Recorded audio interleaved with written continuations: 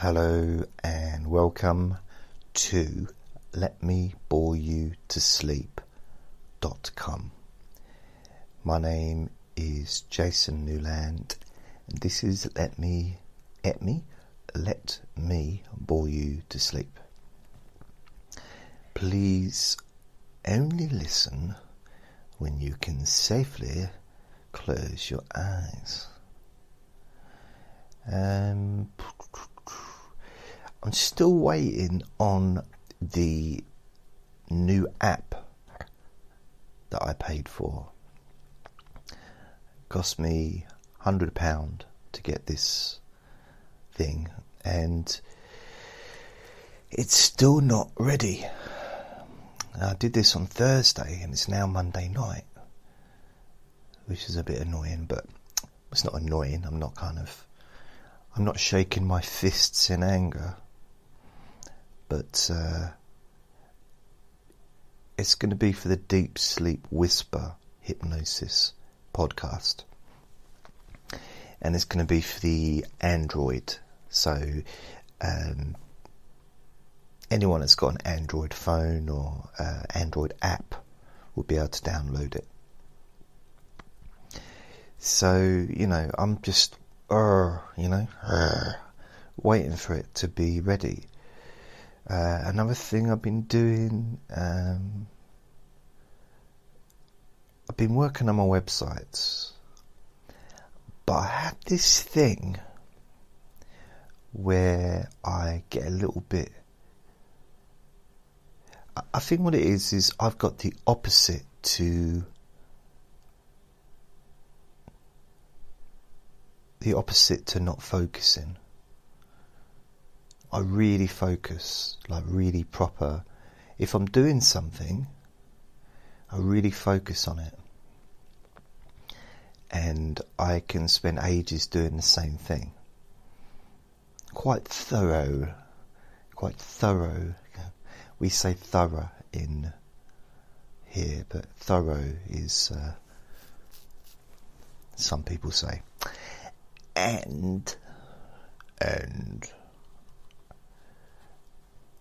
I get a little bit too focused on the websites and then I kind of forget about making the recordings, which is by far the most important thing to be doing. So I need, uh, I don't know how, but I need to find a balance where I'm doing both because the websites are never finished. And of course, the podcasts and the new recordings will never be completed either because constantly need to make new stuff. So yeah, that's the situation. So I've got what have I got? Six websites. I've got the jasonnewland.com. All my stuff's on there. That's all built. Everything's on there. Every single episode that's available pretty much is on there. Uh, you can stream, download. Um, it's all organised, um, categorised, or whatever you want to call it. I've also got deepsleepwhisper.com, which is a deep sleep whisper hypnosis podcast. I've got this one, letmeboreyoutosleep.com. I've also got a neighbour that likes to cough really loudly.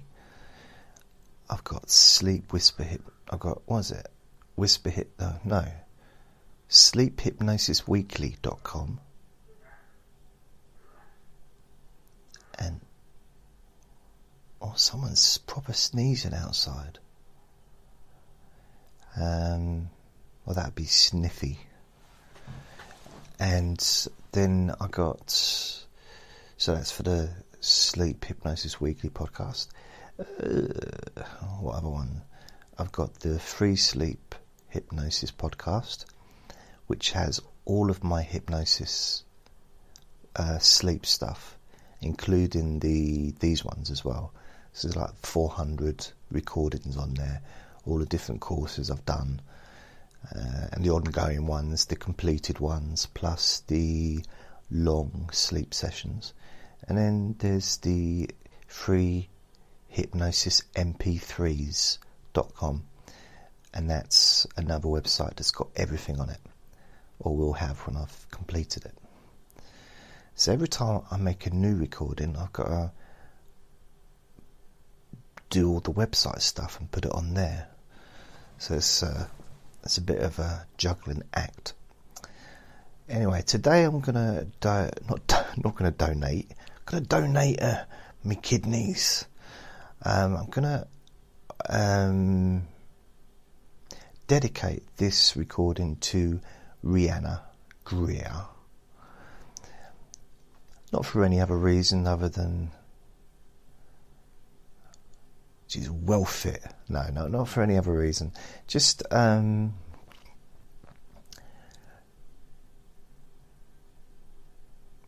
I like to sort of say hello to different people sometimes in the recording. So this is for Rihanna. So I don't know if I've said the word, the, name right, because I've never spoken to her. Um, and people do, they do pronounce the names differently. I'll give you an example. When I was in London, I had a job in a call centre. It wasn't really a call centre because no one called in. It was a sales centre where I called out and I used to sell people mobile phone contracts. And it's these were the it's kind of the early not really the early days of mobile phones or cell phones or mobile mo- mobile phones. Mobile. That sounds that sounds a bit wobbly doesn't it? Oh, my head's a bit mobbly today. A little mobble I think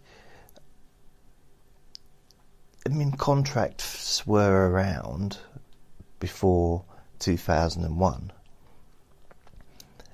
but it's suddenly, I think, became a lot more popular uh, to give free phones away to people if they took a contract. And I had a a job doing that, and I was actually forced to take the job by the unemployment office because I'd been off work ill. I'd, I'd been I was on unemployment for for illness, uh, and um, they decided that they I, I I had to go back to work, and it wasn't a case of they reduced my money and said that I had to go in to sign on instead of just because at the time I didn't have to sign on, just used to get my money every two weeks. And they decided, this is in 2001, they decided, no, no, you have to come in. You have to prove that you are looking for work. And I, and there was this young, young lad in there who's, well, I was fairly young, really. I was 30, but he was probably 24, maybe 23, 22. But he was short, short. But it's really friendly, but had this really high voice. Is kind of what you'd expect. You know, when you're a kid and you you hear about eunuchs and you imagine if someone was a eunuch they'd have a really high voice but it's, it's kind of not true really I don't think it might be true if the eunuch becomes eunuch before um, because I don't know if eunuchism is because puberty still happens anyway doesn't it so I don't know I'm not sure about the. Uh, maybe I need to go and. Maybe this is a time to pause and Google eunuchism. Eunuch is. Un, eunuch. Because. Eunuch. Yeah. Eunuchs. So I had this job in a shop. Uh, not in shop in a in a call center, but it wasn't a call center, but it was because I called out but not in. Well, why would I call in? But I got this job, and the reason is because a company called Reed, which is a, an employment place, they got a contract with uh, the government, which was Labour government at that time. And this was, I think this is probably what Blair did uh, in between, you know, bombing countries. He kind of thought, oh, I know what I'll do. I'll, I'll uh, get Reed, Reed to come along and it wasn't actually a name, it wasn't a person, although it might have been named after a person, I don't know. It's hard to know, isn't it? I mean, it's probably something to Google. I don't, I don't know, I really.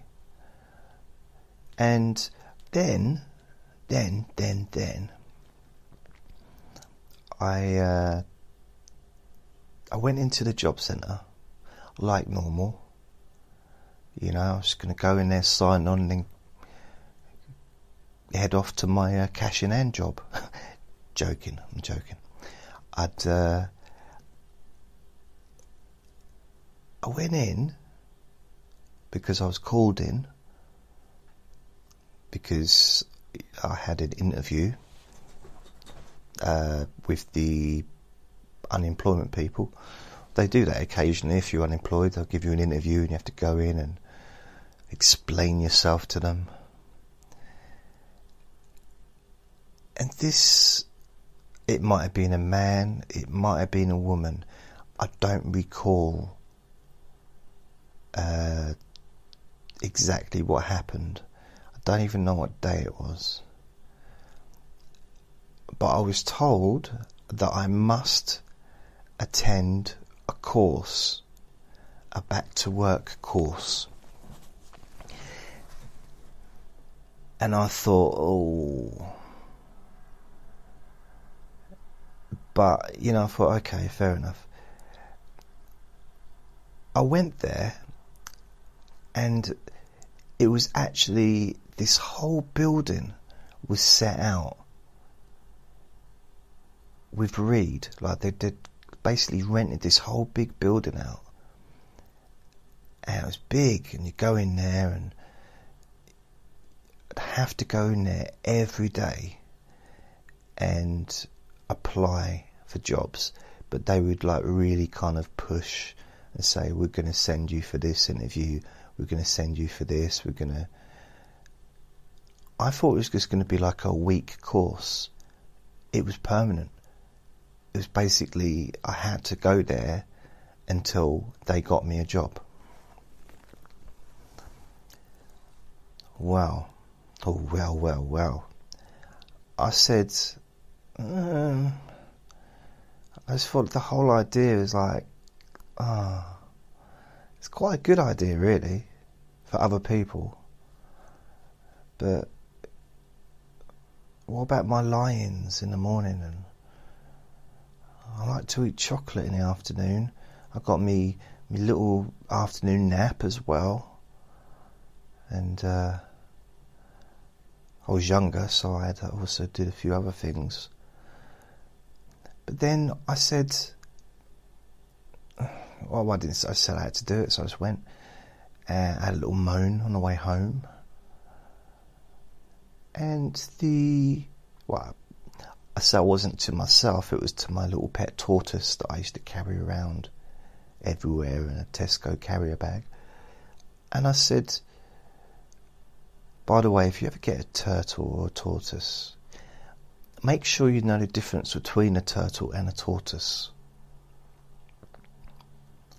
Because when you actually put them into the the cage or the the tank, it's good to know the difference, whether it needs water or not. Obviously, putting water into a cage is like an endless job. Goes everywhere. And one day I was in there, and I remember I remember this one because it was Again, might have been a man, might have been a woman, didn't look. But there was this board of things like jobs and stuff. And some of them looked quite interesting because after a while it got so boring having to go there. I kind of would prefer to work than go in there every day. So I said, hmm.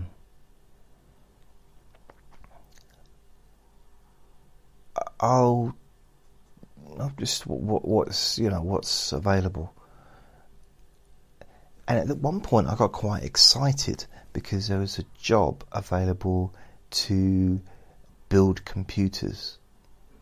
Now that interested me because uh, during 2000 onwards, I was proper into computers, building websites. I was obsessed with it. So the idea of actually building a computer, learning everything about that, that sounded like a dream job. And I don't think it was like in some massive uh, factory. I think it might have been like computer repairs or, or something like that. But they phoned up and that job had gone. It's like, oh, and they said, We're going to send you for a different one. I said, What? I said, uh, It's a sales job selling mobile phones. That's what they told me. I said, Oh, I don't fancy that. They said, You've got no choice. Oh, I said, Okay, it sounds great then. So I went along and they gave me the job. honestly, I think I could have walked in with a fresh dog poo balancing on my head, and they still would have given me the job. You know, they'd. I was getting. I mean, it wasn't just commission. So I did get paid a salary, very low salary. It was like ten grand a year or something plus commission. And it was my first sales job, but I always wanted to be, I always wanted to do sales, but not that type of sales really. Um, but I kind of had no choice to just to do it, so I did it. And it was in Romford, and the it was quite funny because the the young lady, oh, it was a lady I was dealing with. Yeah, that's it. She was very forceful, very kind of go get, go getter, and she kind of forced me to, to go for the interview and and forced me to, you know, but it really just kept like following me around. It's like, you know, just like I'm trying to go to the toilet, leave me alone yeah, but we've got this job, we've got this job. Uh, uh, remember what you got to do in an interview? Remember, you've got to smile, you've got to smile. Uh, don't take your stun gun. Okay, I'll leave it at home this time. Anyway, she took me to the. She took me to the train station, which was just up the road. Actually, it's about five minute walk, and she bought me a travel card for the first month so that I could get to work. They had everything covered. Seriously, everything covered, including, um, I think, five hundred pound. If I if I still working there after a month or whatever, I get five hundred pound bonus just weird. Yeah, the whole setup was really was quite very clever the way they did it. Anyway, I had this job. The reason I mention this is because there was a a girl there called Sian, S I A S I A N, Sian. The reason I remember her is because she was the top seller, and she basically did whatever she wanted to do.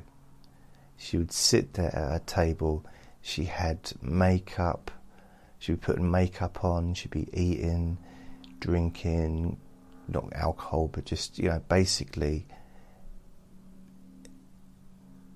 she just she made the desk her own, and she did. She'd literally be talking to other people at the same time as talking to the customers, and she got the most sales out of anybody. So the management left her alone. So her name was Sian, and then my next sales job was with Churchill. Again, phone calls, this time phone calls coming in, and I sold car insurance. And I met someone there with the same name, but I'd only seen it on PayPal, so S I A N, and she was one of the top salespeople. So when I did meet her, and I said, "Oh, hi, uh, so you're," I knew what team she was in, and so I kind of found out. I think she was like the only female in her team, so therefore I knew what her name was. That makes sense. So I said, "Oh, you see, you're, you're Sian," and she said, "My name is not Sean, it's Sian." oh, wow. So I just like, oh, okay. So, you know, I got used to this name being a certain way. I'll be honest, I've not really heard that name before. Never heard Sian before, but I'm not sure if I've ever heard Sian before either. So that's why I'm saying that. It's Rihanna. It could be Rihanna.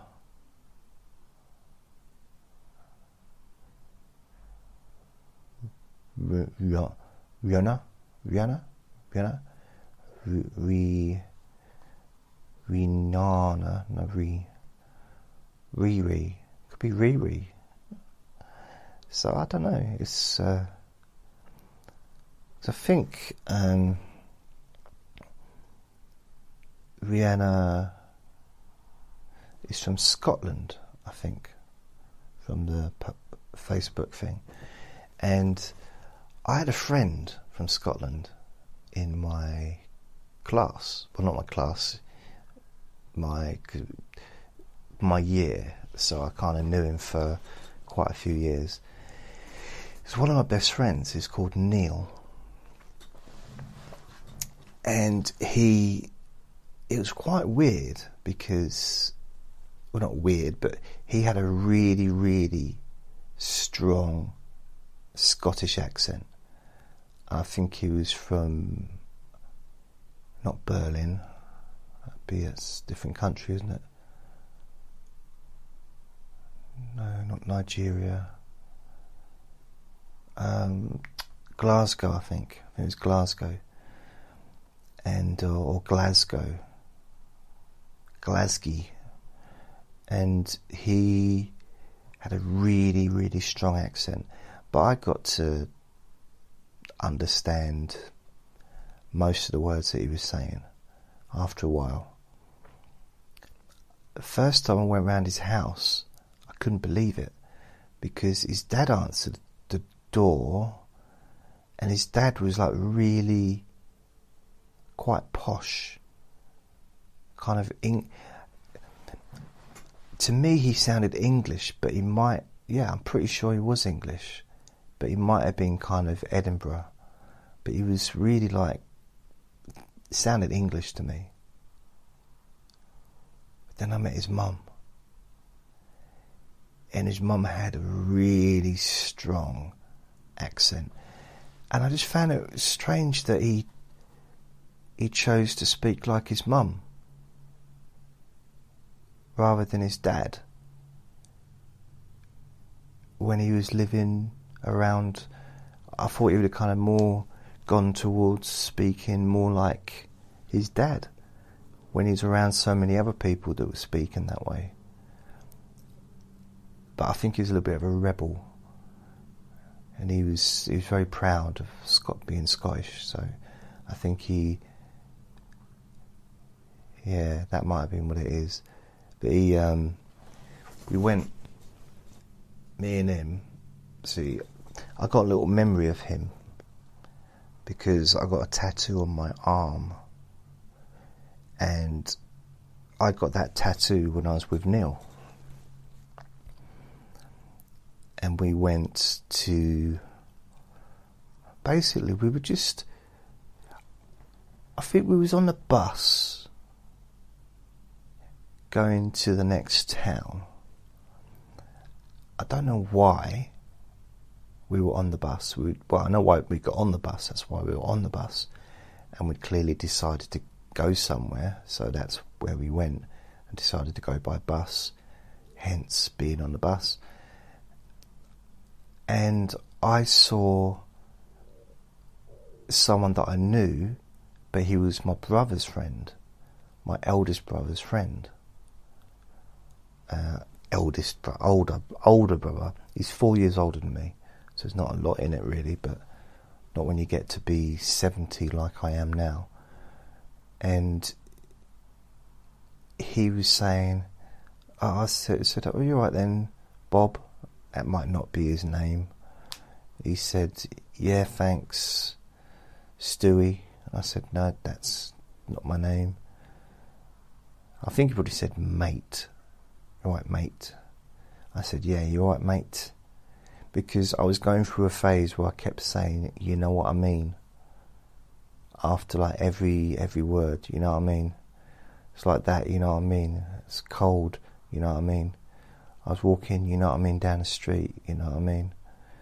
And uh, I tripped over, you know what I mean? I wasn't sure why, you know what I mean? And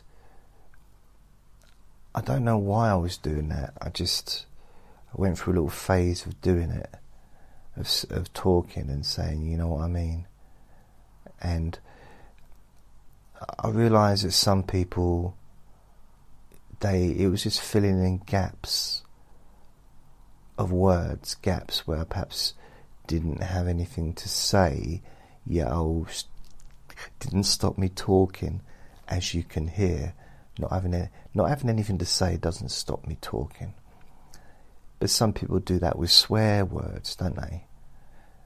They'll like just fill in the gaps with swearing, and the swearing doesn't actually make any sense because they're not angry. They haven't stubbed their toe on letterbox. You know, they're not, not like, oh, and they're like, oh, blimmin' and other such swear words. And uh, yeah, so we're on the bus. I don't know what I was talking about there. And uh, he said, "Oh, what were you? What you two lads up to then? Hey, what are you two up up to?" And um, I said, well, you know what I mean, just getting on a bus, you know what I mean. Uh, I don't know what I'm doing, really, you know what I mean. We just thought we'd uh, go into town, you know what I mean. And he, he said, please stop that. I said, stop what, you know what I mean. He said, just stop saying, you know what I mean. You want me to stop saying, you know what I mean? You know what I mean? I said, yes. He said, yes. Someone said yes and but I'll I'll, I'll leave that. I'll leave, move that away because it's annoying me. And uh, she, she, he, he, he'd had a sex change, and now it's a lady. And she said, um, "Well, I'm going to have a tattoo done." And I said, "Yeah, but I didn't ask you what you were up to." But he, and he said, yeah, but I asked you what you were up to, so I figured you'd want to know what I'm up to. I said, Look, no offense, but I'm never interested in what anybody's ever up to. And he said, That's a bit rude. I said, It's not, though. It's not rude. It's just honest. I have a very. occasionally, I'm interested in somebody and I show an interest and I am interested in what they're doing. Um, you could probably call that love. It's probably a love thing. Um, but generally, I'm not that interested. So, oh. You know, it's, it's basically sometimes I meet somebody and I like them. I don't know why I like them. And I'm interested in what they're doing. And I, I show an interest and I care. But I don't have that general caring to, like, an interest rather to what people are doing. It's uh, just don't have that naturally inbuilt in me for some reason. And he said, "Well, it's, it's a quite a quite a deep conversation to be having on a bus." And I said, Yeah, well, what better place? He said, I don't know, counselling session? I said, That's that's funny. That's a good good one. He said, Thanks. I said, It's okay. he said, I do try. I mean, I'm, I try and chuck in a few little jokes along the way. I said, I know, I appreciate it. He said, Yeah, thanks. He said, Anyway, can I just tell you about what I'm going to do? I said, yeah, go on then, might as well. He said, well, yeah, I mean, it makes a story mildly more interesting if if I get to talk to you and tell you what I'm doing. Otherwise, it's just me and you talking about, not talking about what I'm doing. Yeah, actually, that's a good point. he said, well, guess what I'm doing, lads? So I pretend to be excited. I said, what are you doing then? Please tell me. I can't wait to hear this. You know what I mean? And he said, I'm going to have my tattoo. I'm going to have a tattoo done. And my friend Neil said to me, Ooh, that's a good idea. Said, "Oh, what? What?" I said, "Well," I said, "What is?" And Neil said, "What do you mean, what is?" I said, "What? What? what? He said, where, where you been? We're talking about tattoos." I said that he said he's going to go and have a tattoo. I say that's a good idea, and you say what is. So what do you think I'm talking about when I say that's a good idea? What? what digging for oil? What, what, what, what, what do you think? Let's join the Navy? No, no, I, I just, I wasn't listening. I was busy, I was, I was looking down there and I just, uh, saw someone I actually might be interested in talking to. That's a bit rude. I know, everyone's saying I'm rude today for some reason. Perhaps it's because you are. Oh, okay. And I said, Well, yeah, let's go and get some tattoos done. Now, I didn't actually believe, I didn't mean what I was saying. I got no interest in getting a tattoo uh, at that time, wasn't interested.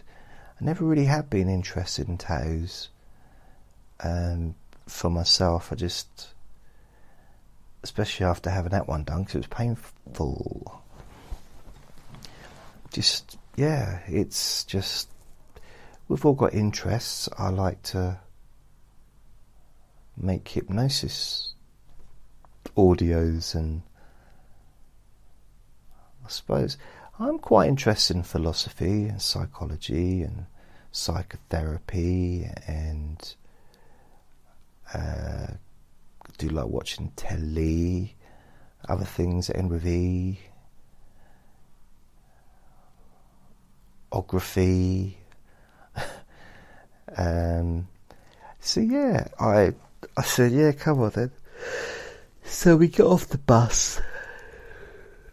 I got off the bus and um, they called me back on saying, it's not this stop. I said, okay. Bus driver said, no, you've got off now, you've got to pay to get back on. I said, come on, mate. You know what I mean? I, I just got off. And what you going to, you know? He said, what? I said, it's, I, I just got off the bus. You know, you want to do that to me? Well, what's going on?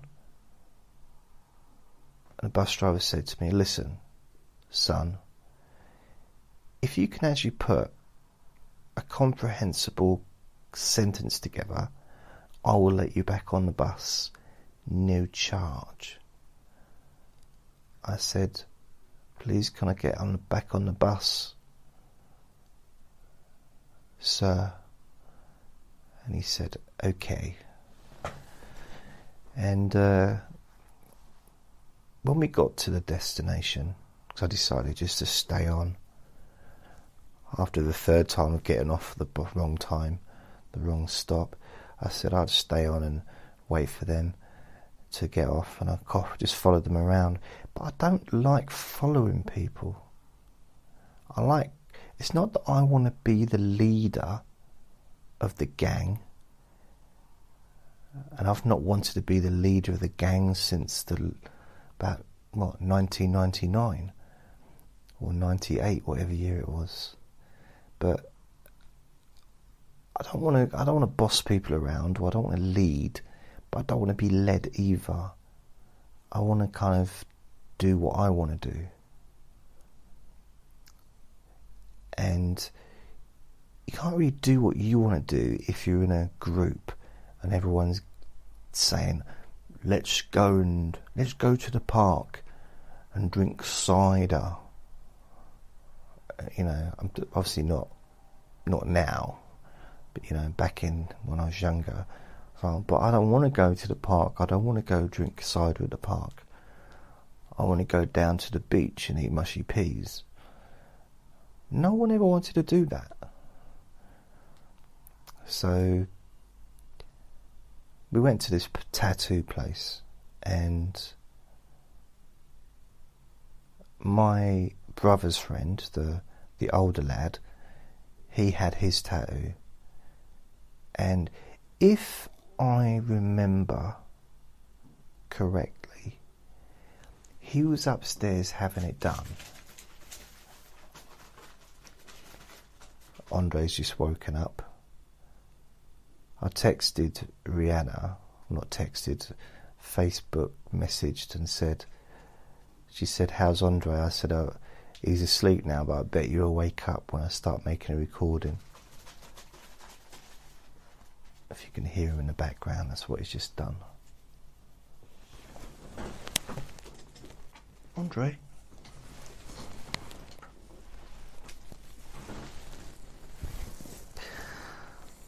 I've got him in my arms now. You know what I did the other day? I leant back in my black chair. I got this big black squeaky chair. And I just leant back in it and I was listening to I listened to this recording, not this recording, obviously, because it's not been. How can I listen to this every day? It's not even been finished. But there's a recording that I listen to every day, and it's uh, kind of a motivational thing, but it's it's by a man called Earl Nightingale, and it's absolutely brilliant. So I've got it on my laptop and I just play it uh, for half an hour. It's, I think it lasts for 32 minutes. And I laid back in my chair. This was two days ago. And I laid back. And the chair collapsed, but backwards. So it literally head first went upside down and my head smashed against the wall. I mean, quite hard. I had a headache. The wall wasn't too happy either. And uh, the whole of my weight was basically pressing on my neck and I was trapped. I suppose you could say it's been that's a little bit, you know, uh, exaggerationally saying you're trapped. Yeah, but I still am. I'm still here. I can't get out. No, I did get out eventually, but it took me about five to ten minutes before I could get out. And all I had was my underpants on because it's fairly warm at the moment and there's no one else around. Uh, I don't sit in my underpants when I've got visitors.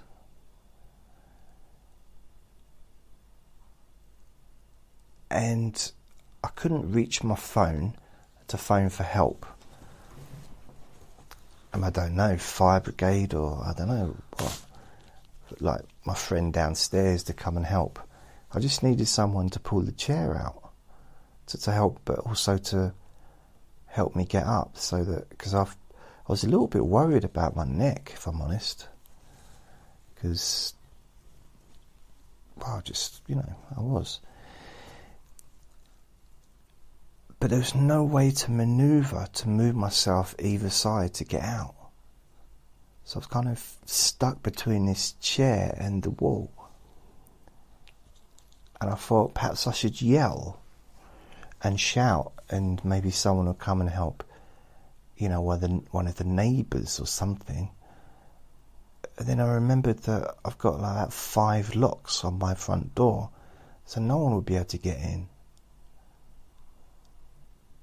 You know, it's you need a. It'd take a long time to get through that door. It's like, oh. Then I thought, well, I've got a the window's open. Hello, Andre.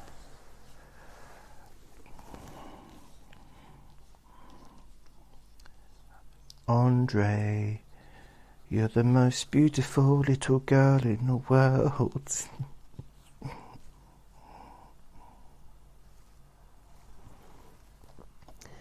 um, he's laying on my lap now. He's just he's been quite calm actually. He's kind of half a half asleep, half awake. But he's not doing anything. He's just he's licking my hand. But yeah, so eventually I thought it's the window's open, perhaps if I call. But then someone have to come up in the ladder on a ladder and open the window. You know, get through the window. Now I've got neighbours that are slim, so they probably would be able to get through that window. I wouldn't. If I tried to get through the window, the whole thing would break, guaranteed. Um, because I'm not. I'm not skinny. I'm not. You could say I'm possibly not slim either. But I do have a new sit up bench that I bought, and it's uh, quite high. I don't know what the right it's it's basically it's it's a sit up bench. So you know, sit in it, supports my legs, and then I just do sit ups. So I've got that, and I've not been able to use it the last couple of days because of my neck because my neck's been painful and I've, I had a headache and everything on my neck. And I thought, with doing these sit ups, it's putting strain on, on my neck. So I thought, oh, I'll have a little, I'll have a little rest from that. And you know what? When I, when I thought to myself, I'm not going to do any sit ups today, not one part of my brain disagreed with me. Not one atom in my being thought, no, no, I really should do those sit ups. I was in total agreement. Every part of me was in total agreement not to do any sit ups. That's quite an amazing thing, really. It's quite a beautiful thing. So, my friend Neil, whenever I hear the word Neil, I always think of Superman 2, where Zod he says to, he says to Superman, Superman, kneel before Zod. And Superman does. And, uh, and he crushes his hand. Something like that, yeah, I remember that. But my friend Neil had a tattoo of Scotland. I think it was the Scottish flag, but I think he might have also had Scotland written underneath. And he had that on his shoulder. I, and we were both too young to have tattoos. We were 16. We weren't allowed to have tattoos till you're 18. But for some reason, this person didn't seem to be bothered. And I had a tattoo on my forearm of a dragon's head. It's basically a. Do you know the Chinese festivals where they have these big dragons and you know, there's like a hundred, like a, it looks more like it's got like a centipede because of the amount of legs, human legs underneath holding the really long body, and they move it from side to side and stuff like that. Well, that's supposed to be the head of a dragon. And uh,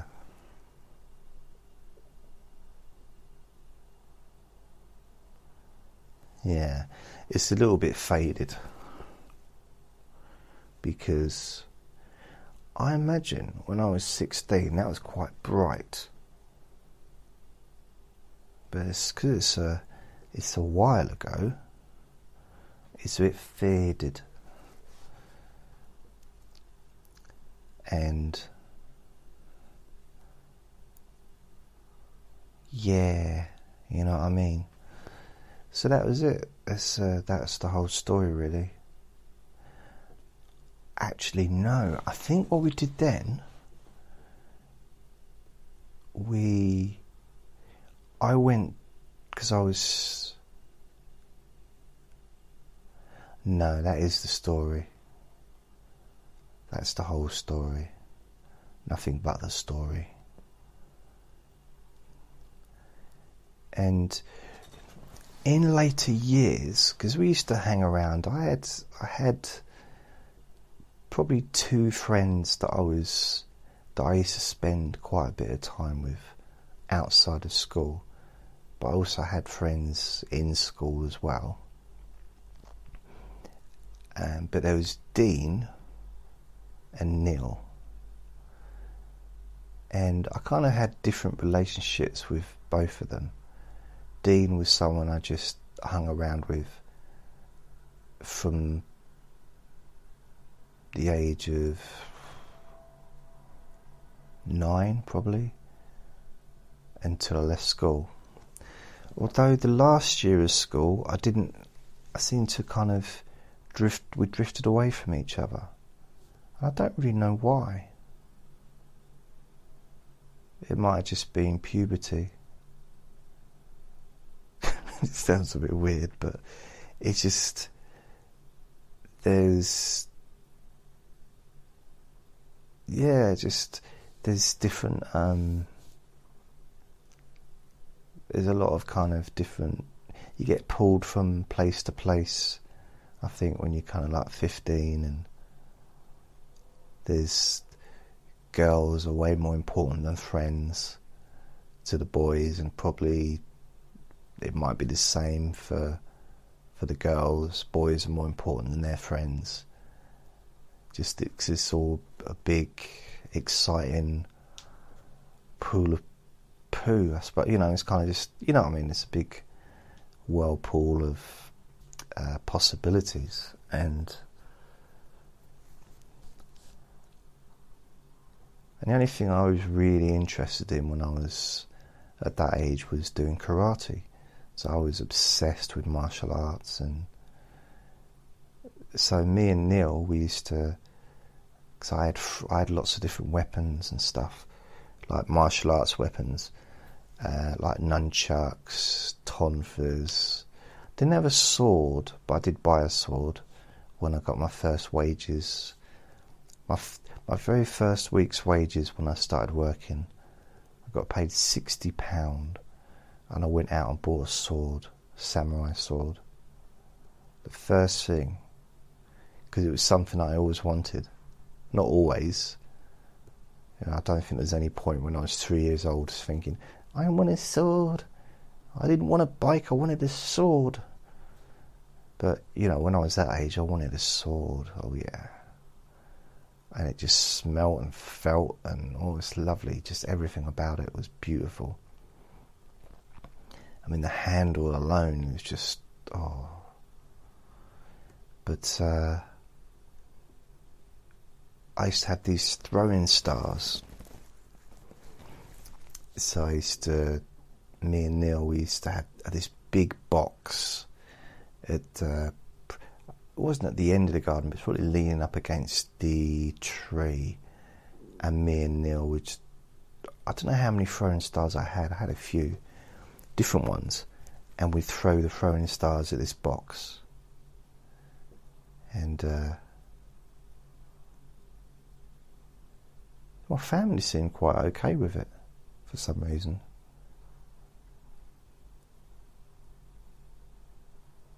But yeah, it's. And I think, what other thing? I kind of had my little periods with him where we'd. I think Dean was so nice.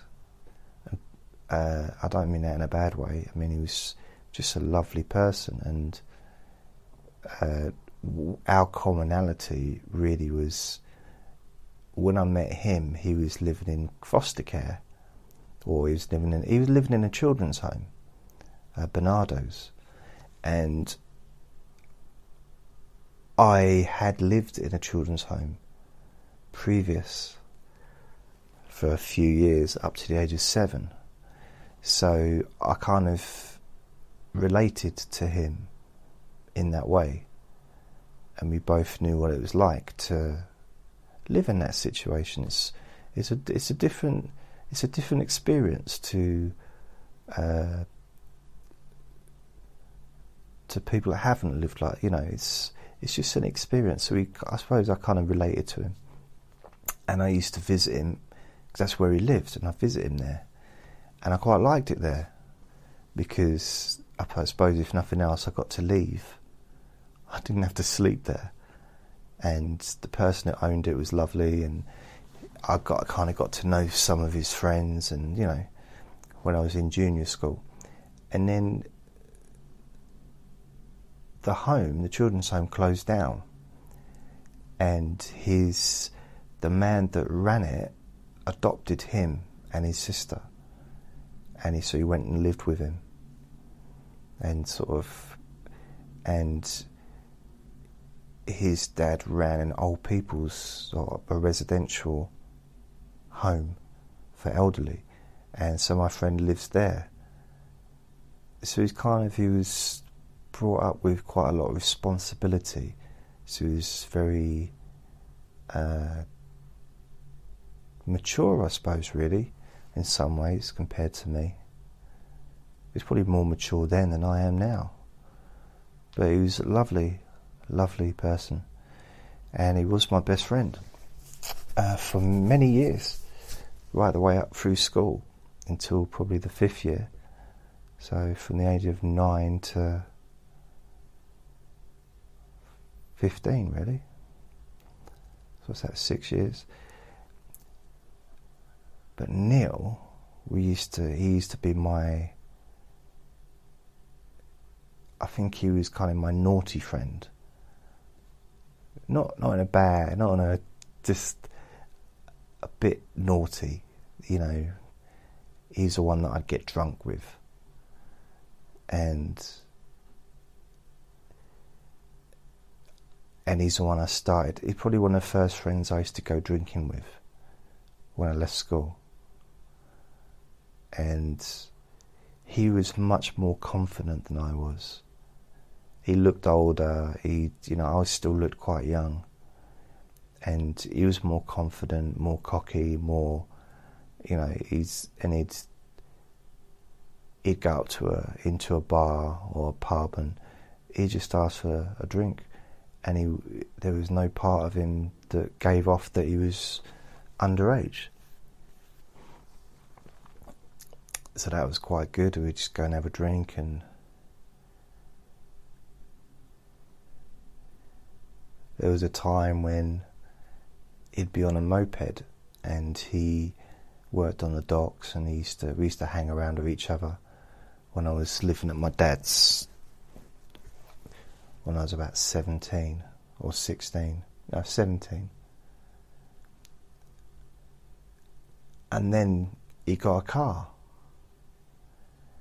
so we used to drive around or he used to drive around with me in the passenger seat and uh, so I kind of I had my first experience of driving around in the car and not really being naughty, but just you know that first teenager freedom kind of thing with him, and uh, yeah, that's quite good actually. And then in 1990, yeah, 1990, I was, I think it was 91, I'd moved to London to pursue a stand up comedy career. That went well. And uh,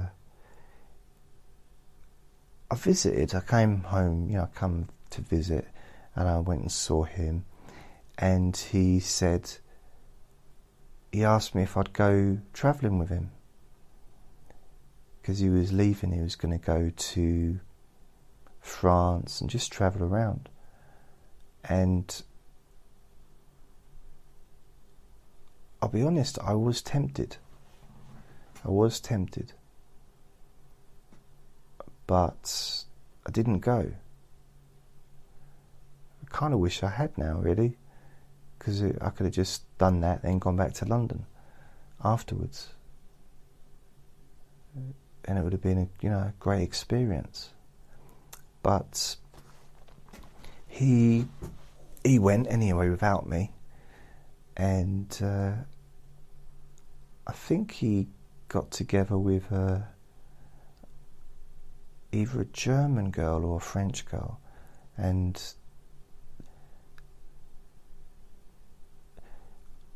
I did visit his parents.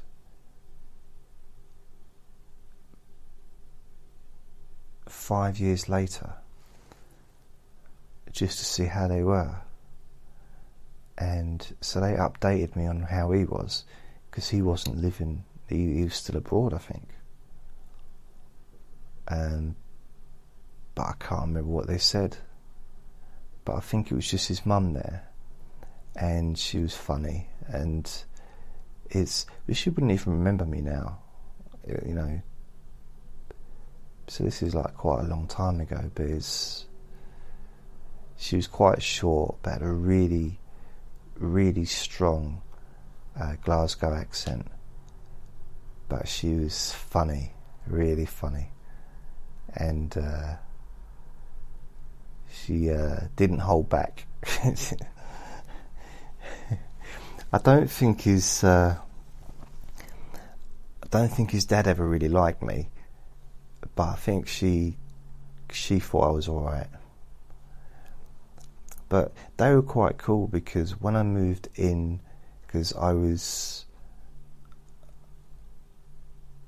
I didn't have anywhere to live when I was fifteen, so I moved into. I was yeah when I was sixteen I moved into this flat above the shop that I lived, the chip shop, and Neil's mum and dad came and sort of gave me stuff like cutlery and uh, kettle, and they really sort of tried to help me out, which was really lovely. I'll be honest, I didn't probably appreciate it at, at the time. Um, I do now, but I don't know. I think I was so like uh, caught up in being 16, which is quite a while ago. So,